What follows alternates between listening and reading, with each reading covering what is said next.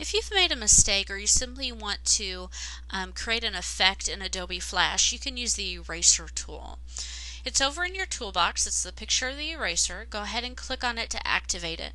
And down below you're going to get a couple of options. The first one is your eraser mode and you have normal, fills, lines, selected fills, or inside. So go ahead and start with normal and see how that works.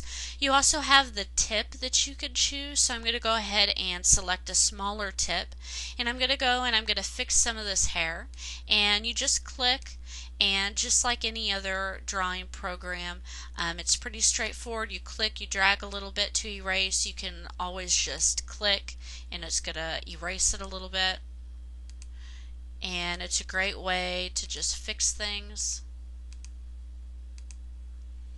pretty straightforward. You also have um, a couple other modes here that you could do. You could choose to erase fills. I'm going to go ahead and increase my tip size.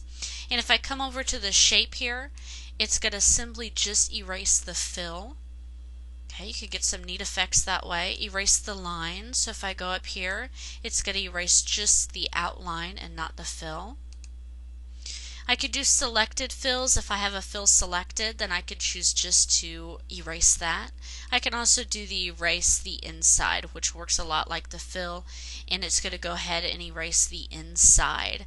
Uh, so that's how that you can um, use the erase tool within Adobe Flash.